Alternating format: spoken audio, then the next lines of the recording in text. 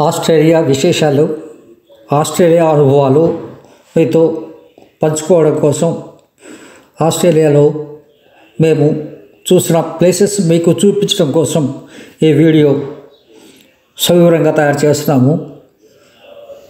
టోటల్గా స్కిప్ చేయకుండా చూస్తే మీకు ఆస్ట్రేలియాలో ఉన్న వింతలు విడ్డూరాలు చూడాల్సిన ప్రదేశాలు మీద ఆసక్తి కలుగుతుంది. అది ఒకటి పర్యావరణం రెండోది పర్యటన మూడోది ఆస్ట్రేలియాలో మెయింటైన్ చేస్తున్న పద్ధతి. ఆస్ట్రేలియా ఒక విధంగా చెప్పాలంటే clean and green country continent.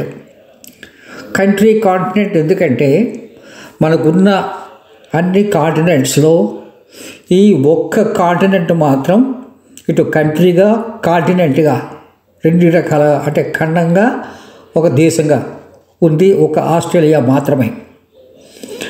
For example Asia అటు యూరప్ చూసినట్లయితే అవి కలిసే ఉన్నాయి.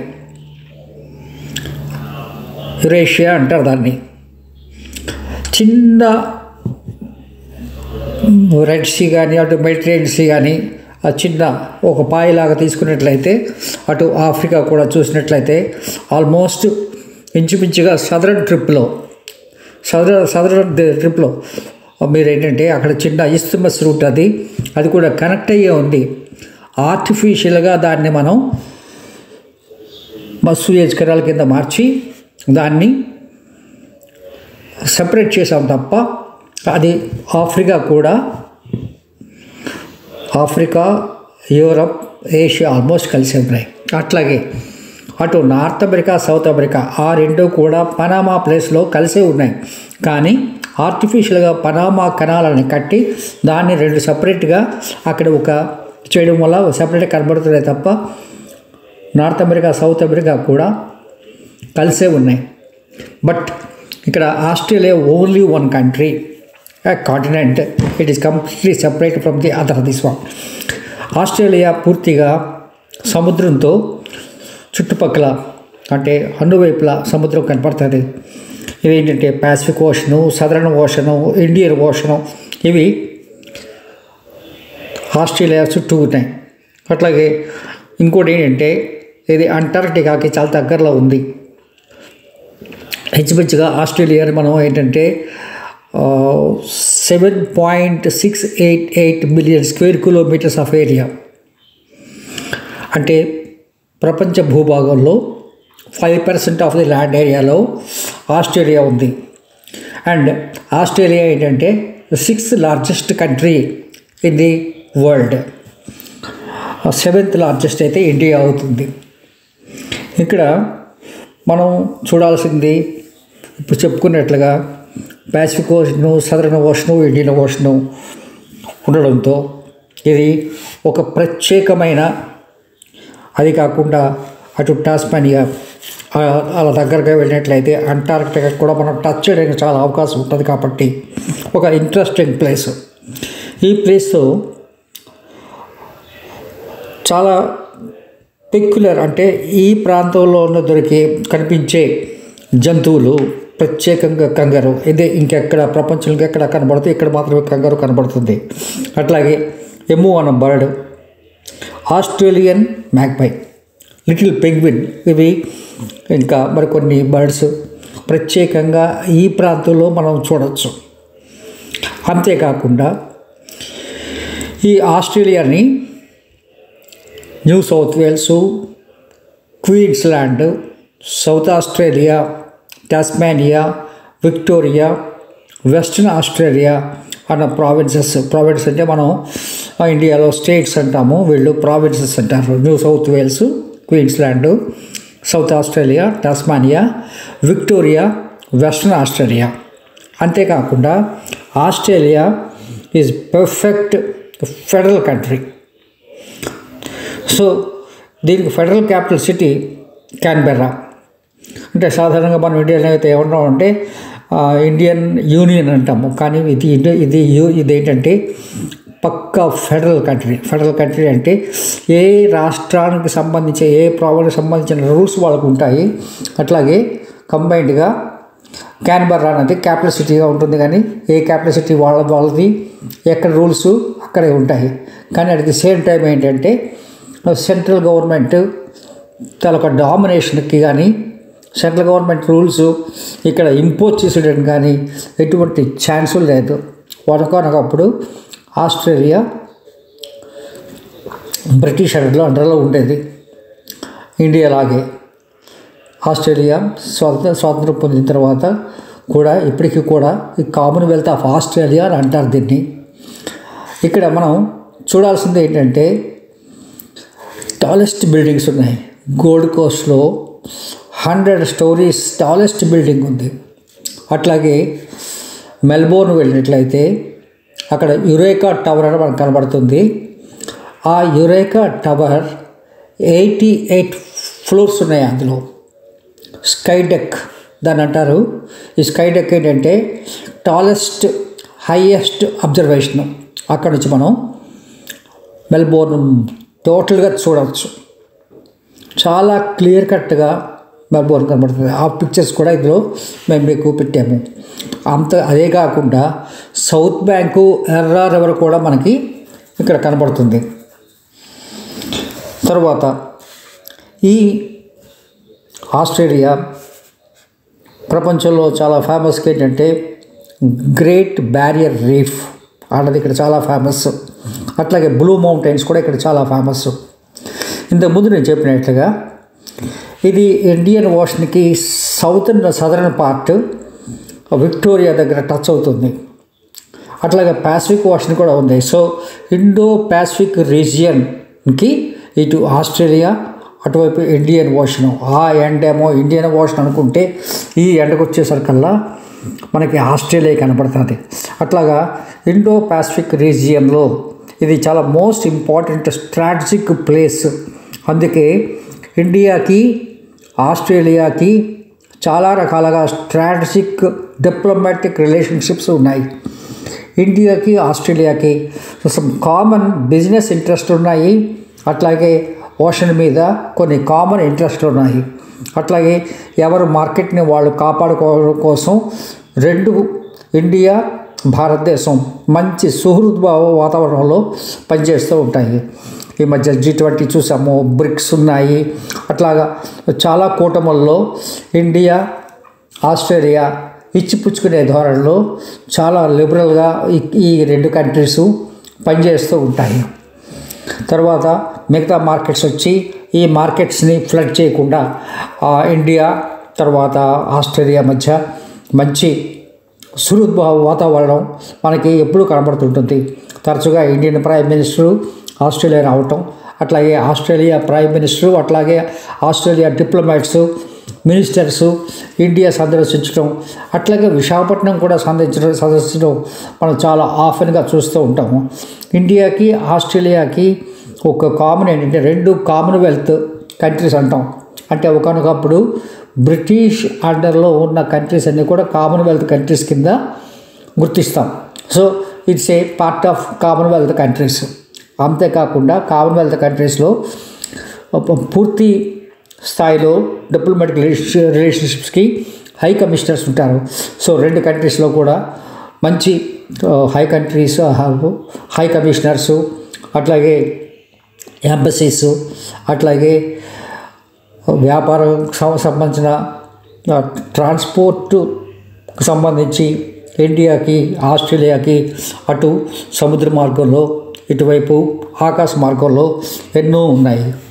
అంతేకాకుండా ఇండియా ఆస్ట్రేలియాకి కల్చరల్ రిలేషన్షిప్స్ చాలా ఉన్నాయి. ఇంచుమించుగా ఏడు లక్షల నుంచి పది లక్షల మంది ఇండియన్స్ ఆస్ట్రేలియాలో ఉన్నారు. అంతేకాకుండా ప్రతి సంవత్సరం కూడా not less than fifty thousand Indians student రూపంలో కానీ ఇంకొక యాభై వేల మంది నుంచి ఇంకొక లక్ష మంది వరకు ఇంచుమించుగా ఆస్ట్రేలియాకి ఇంకో రూపంలో కానీ ఎప్పుడు రావడం జరుగుతూ ఉంటుంది. అంతేకాకుండా ఆస్ట్రేలియన్స్ ఎవ్రీ ఇయర్ సుమారుగా పది లక్షల మంది భారతదేశాన్ని సందర్శించడానికి వస్తూ ఉంటారు. అట్లాగా మనకి ఆస్ట్రేలియాతో మంచి క్లోజ్ రిలేషన్షిప్స్ ఉన్నాయి. అట్లాగే ఇండియాలో జరిగే పరుగులు పండుగలన్నీ కూడా ఇక్కడ ఆస్ట్రేలియాలో బ్రహ్మాండంగా ఇండియన్స్ జరుపుకుంటారు. అట్లాగే ఇండియన్ టెంపుల్స్ కూడా ఆస్ట్రేలియాలో ఉన్నాయి. వాటికి సరిపోయిన సంరక్షణ ఉంది. ఈ మధ్య ఏవో ఒకటి రెండు చెదురుమదురు సంఘటనలు జరిగినప్పుడు ఇండియా ఆస్ట్రేలియా ప్రైమ్ మినిస్టర్స్ వాటిని సరిదిద్దడం కోసం ఆల్రెడీ అగ్రిమెంట్స్ చేసుకున్నారు. దానికి సరిపడిన స్టెప్స్ తీసుకుంటున్నారు. అంతేకాకుండా ఇండియన్ కమ్యూనిటీస్ ఇక్కడ వ్యాపారంలోని డిఫరెంట్ వృత్తుల్లోని మంచి జీవితాన్ని గడుపుతున్నారు. తర్వాత మనం ఆస్ట్రేలియా పాపులేషన్లో చూసుకున్నట్లయితే ఇంచుమించుగా ఆస్ట్రేలియా పాపులేషన్లో ఇండియా పాపులేషన్ తాలూకా శాతం కూడా చాలా ఎక్కువగానే మనకు కనబడుతుంది. ఈ విధంగా ఆస్ట్రేలియాకి ఇండియాకి మధ్య మంచి సాంస్కృతిక సంబంధాలు అన్ని సంబంధాలు మనకి బాగా కనబడతాయి. ఆస్ట్రేలియాలో మనం చూడాల్సిన ప్లేసెస్ చూడగలిగిన ప్లేసెస్ చూసి ఆనందించే ప్లేసెస్ చాలా ఉన్నాయి. ఇక్కడ వాతావరణం ఇప్పుడు అంటే మొన్న ఆగస్టు నుంచి సమ్మర్ స్టార్ట్ అయింది. సో ఇప్పుడు సెప్టెంబరు ఇప్పుడు సమ్మర్ ఏమో పెరుగుతున్న సమయం. డిసెంబర్లోనే ఇంకా సమ్మర్ పీక్ టైంకి వస్తుంది. డిసెంబర్ థర్టీ ఫస్ట్ ఆస్ట్రేలియా ముఖ్యంగా ఇక్కడ చాలా మోస్ట్ ఇంపార్టెంట్ ఏంటంటే న్యూ ఇయర్. ఎందుకంటే సూర్యోదయం చూసుకున్నట్లయితే ఈ ప్రాంతంలో సూర్యోదయం పోత అవుతుంది కాబట్టి అటు న్యూజిలాండ్ ఇటు ఆస్ట్రేలియాలో చాలా అద్భుతంగా న్యూ ఇయర్ చేస్తారు. థర్టీ ఫస్ట్ నైట్ మనం తిరిగి డార్లింగ్ హార్బర్ నుంచి చూడొచ్చు. అట్లాగే సిడ్నీ బ్రిడ్జ్ నుంచి మనం దీన్ని చూడొచ్చు. ఆ ప్రాంతాలకు వెళ్ళినట్లయితే ఇక్కడ చాలా కనుల విందుగా వీళ్ళు ఇక్కడ కొత్త సంవత్సరానికి ఆహ్వానం పలుకుతారు. సో ఇక్కడ నుంచి కొత్త సంవత్సరం స్టార్ట్ అయ్యి అలా అమెరికాలో లాస్ట్లో జరుగుతుంది. ఎందుకంటే ఇక్కడికి అక్కడికి ఉన్న ఈ భూభ్రమణం వల్ల వచ్చే టైం చేంజెస్ వల్ల ఇంచుమించుగా ఇక్కడ నుంచి అక్కడికి. సో ఎవరైనా సరే ఈ సూర్యోదయాన్ని చూడాలి అనుకున్న వాళ్ళు చాలామంది ఏం చేస్తారంటే వినోద పర్యాటకులు ఈ జాన్వరి ఫస్ట్ మిడ్ నైట్ అంటే జనవరి ఫస్ట్ స్టార్టింగ్ నుంచి జనవరి ఫస్ట్ అమెరికాలో లాస్ట్లో జరిగిన వరకు చూడడం కోసం ఏం చేస్తారంటే చాలామంది విమానాలు అన్ని ప్రత్యేక విమానాలు ఇక్కడ నుంచి అక్కడికి అలా ప్రయాణం చేస్తూ అన్ని ప్రాంతాలు జనవరి ఫస్ట్ చూసుకుంటూ వెళ్ళేవాళ్ళు చాలామంది ఉన్నారు. ఇట్లా మనం ఆస్ట్రేలియా కోసం చెప్పుకోవాలనుకుంటే మోస్ట్ ఇంపార్టెంట్ సిటీస్ సిడ్నీ చాలా పెద్ద సిటీ ఇక్కడ పాపులేషను ఇంచుమించుగా more than sixty to seventy lakhs అంటే seven million six million to seven million population ఉంటారు. ఇందులో భారతీయులు కూడా ఇంచుమించుగా three lakhs to four lakhs భారతీయులను కూడా మనం ఇక్కడ మనం చూస్తాము.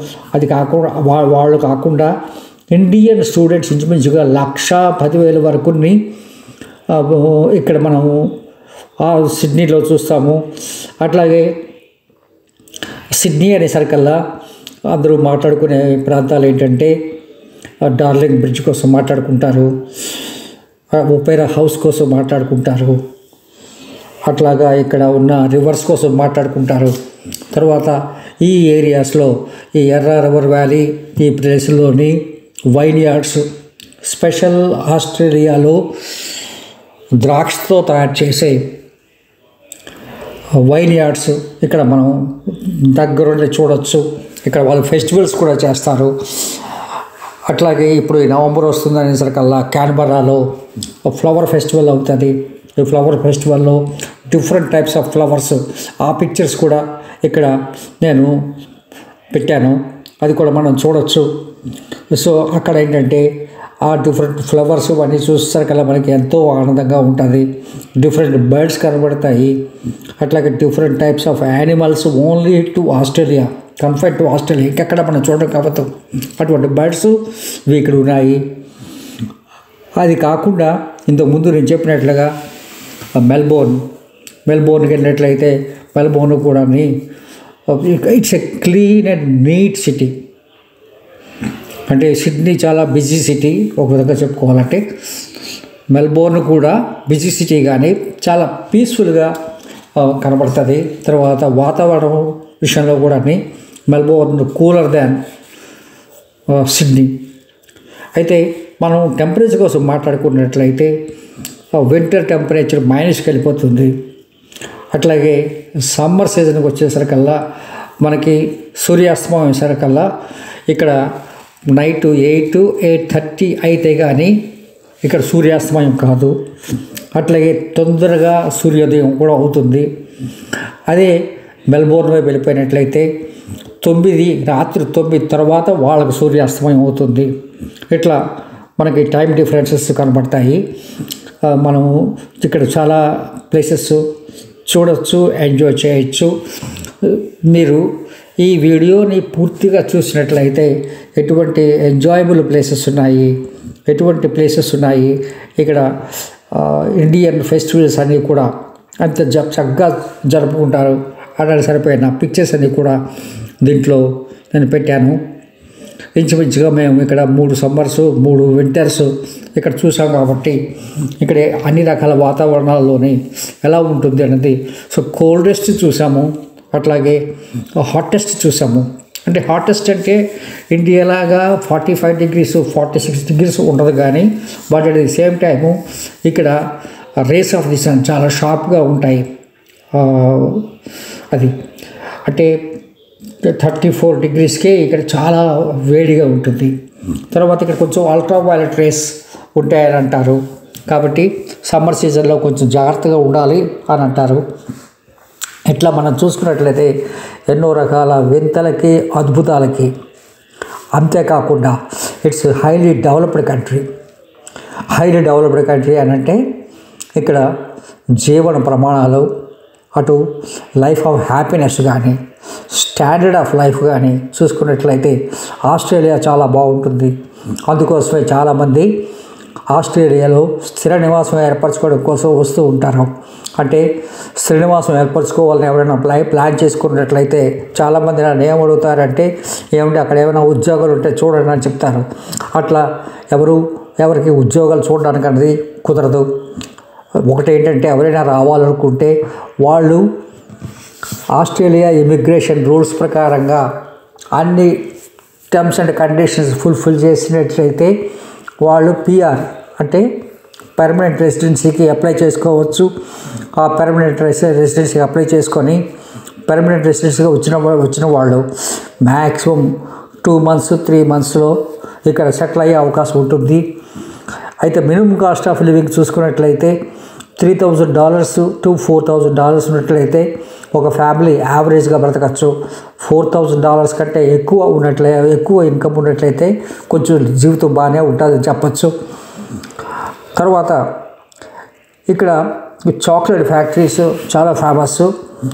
మీరు చాక్లెట్ ఫ్యాక్టరీస్కి వెళ్ళి మీరు చాక్లెట్స్ అన్ని రకాల చాక్లెట్స్ని అక్కడ టేస్ట్ చూడవచ్చు కానీ మీరు జేబులో వేసుకొని తీసుకురావాలంటే మాత్రం అక్కడ మీరు అమౌంట్ పే చేయాల్సి వస్తుంది. కాదు మీరు అక్కడ టేస్ట్ చూస్తారనుకుంటే మాత్రం అది అన్ని రకాల చాక్లెట్స్ని మీరు టేస్ట్ చూడడం కోసం అన్ని రకాలుగా వాళ్ళు ఎటువంటి ఛార్జెస్ చేయరు. మనం ఎంత ఆనెస్ట్గా ఉన్నట్లయితే అంత హ్యాపీగా ఆస్ట్రేలియాలో లైఫ్ని లీడ్ చేయొచ్చు. ఇక్కడ అన్ని రకాల తరగతుల వాళ్ళకి సరిపోయిన ఉద్యోగాలు లభ్యం అవుతాయి ఇక్కడ కావాల్సినంత ఏంటంటే స్కిల్. మీరు కార్పెంటరీ చేస్తారా లేకపోతే ప్లంబింగ్ చేస్తారా లేకపోతే మీరు ఇంకో వర్క్ చేస్తారా? ఎలక్ట్రికల్ చేస్తారా? ఏం చేస్తారా? అనేది ఏం చేసినా సరే మీకు స్కిల్ కావాలి. సాఫ్ట్వేర్ డెవలపర్ సాఫ్ట్వేర్ ఇంజనీర్స్ కానీ ఎటువంటి జాబ్స్ కావాలన్నా సరే ఇప్పుడు ఇంచుమించుగా ఇప్పుడు టూ డేస్ బ్యాక్ నేను పేపర్లో చూశాను. ఆస్ట్రేలియాలో దర్ ఈ shortage of drivers drive drivers సరిగ్గా లేక ఇంచుమించుగా మూడు వేల బస్సులు మూడు వేల నుంచి ఆరు వేల బస్సులు కదలడానికి అవకాశం లేకుండా మొన్న వారం రోజుల నుంచి ఆగిపోయాయి. అంటే డ్రైవర్ షార్టేజ్ కూడా ఇక్కడ చాలా చాలా ఉంది.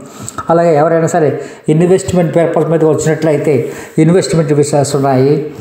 అట్లాగే అగ్రికల్చర్ డెవలప్మెంట్ పర్పస్తో ఎవరైనా రావాలనుకుంటే కూడా అగ్రికల్చరల్ వర్క్కి వాళ్ళకు కూడా విసాస్ అవైలబుల్గా ఉంటాయి. సో వీళ్ళందరూ కూడా ఆ విశాస్త ఆ గవర్నమెంట్ వెబ్సైట్స్లో దాన్ని ఓపెన్ చేసి దాని ప్రకారంగా చేసుకుంటే సరిపోతుంది. సో ఇక్కడ అన్ని రకాల అన్ని తరగతుల అన్ని రంగాల వాళ్ళకి సరిపోయిన అవకాశాలు ఉన్నాయి. Australia is a place for healthy and safe living ఇక్కడ మీరు అనుకున్నట్లుగా ఎటువంటి సమస్యలు ఉండవు. ఎవరైనా సరే అనవసరంగా ఎక్స్ట్రాస్ చేసి బతకాలనుకున్న వాళ్ళు మాత్రమే ఇబ్బంది పడతారు తప్ప లేదు. మన పని మనం చేసుకుంటాము. మన లైఫ్ మంది. మనం మనం నార్మల్గా వెళ్ళిపోయి అందరితో ఫ్రెండ్లీగా ఉండే వాళ్ళకి ఈ దేశంలో ఎటువంటి సమస్య లేదు. కారణం అంటే ఆస్ట్రేలియన్స్ చాలా ఫ్రెండ్లీగా ఉంటారు. ఆస్ట్రేలియన్స్ ఇండియన్స్ తాలూకా స్కిల్స్ని రికగ్నైజ్ చేశారు. సో ఇండియన్స్ ఇక్కడ చాలా హ్యాపీగా ఉండొచ్చు. సో ఇక్కడ ఎటువంటి సమస్య లేదు అని మీకు దీని ద్వారా మీకు అర్థమవుతుంది. ఒక్కసారి మీరు మొత్తం చూస్తే మీకు ఆస్ట్రేలియా లైఫ్ ఎలా ఉంటుంది? ఆస్ట్రేలియా లైఫ్లో మీరు ఎంత రిలాక్స్గా ఉండొచ్చు? ఎంత హ్యాపీగా ఉండొచ్చు? అన్నది మీకు అర్థమవుతుంది. ఇక్కడ ప్రతిదానికి కూడా ఒక సిస్టమ్ అంటూ ఉంటుంది. Civic sense.